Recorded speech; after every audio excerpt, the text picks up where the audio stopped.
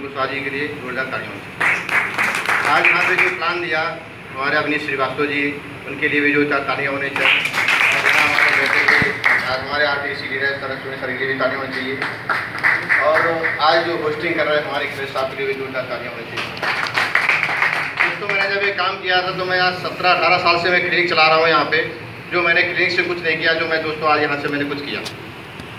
और आज यहाँ पे लाइफ बहुत अच्छी हो गई है। शेड्यूल हो गई, बहुत अच्छा काम चल रहा है। पार्ट टाइम अपनी क्लिनिक चलाता हूँ। और पार्ट टाइम भी जॉब करता हूँ जॉब करते पार्ट टाइम क्लिनिक चलाते ये काम करते करते आज यहाँ पे पहुँचा हूँ सर आपने सर देखता हो कोई अपॉर्चुनिटी मिलती है तो आदमी उसको बहुत हल्के से लेता कहता है अपॉर्चुनिटी मिली, मैं देखता हूँ, करता हूँ कि नहीं करता हूँ? जब अपॉर्चुनिटी मेरे को मिली तो मैंने भी ऐसे हल्के में सोचा था, बहुत हल्के से मिली होगी। और आपने देखा होगा, इसमें रिटायरमेंट नहीं होता है। देखा सर इसमें रिटायरमेंट नहीं होता, सब में रिटायरमेंट होता है। आपने सर देखा होगा, एक कारपेंटर है पढ़ी एक अपने मिस्त्री मिस्त्री बनता है वो, करता क्या है काम? एक अपने मालिक क्या काम करता है, करते करते करते उसको साठ साल हो जाते हैं जब। तो सोचता है, सर, हमें रिटायरमेंट होना है और रिटायरमेंट होने के साथ में मैं अपने बच्चों के साथ में आराम से रहना चाहता हूँ। जो रिटायरमेंट मुझे बनता है, वो दे दीजिएगा, सर।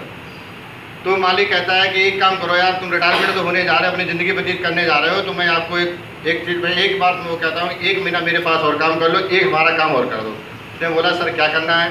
कल बोला, एक काम एक करना है, आपको एक अच्छा सा घर बनाना वो घर आप बना दीजिए, इसके बाद आप रिटायरमेंट हो जाइएगा कोई दिक्कत वाली बात नहीं है। बोले कहा ठीक है, सर। उसने बोला रिटायरमेंट का समय अगर एक महीना और दे दीजिए। उन्होंने एक महीना लगा के तो फटाफट उसने काम किया, बीस दिन में ही काम तैयार कर दिया। और तैयार करने का बोला, सर, आपका मकान बन गया, आप दीजिए, सर. उसने चाबी दी कहना सर रिटायरमेंट हो गए? कहना सर रिटायरमेंट आपको देता हूँ।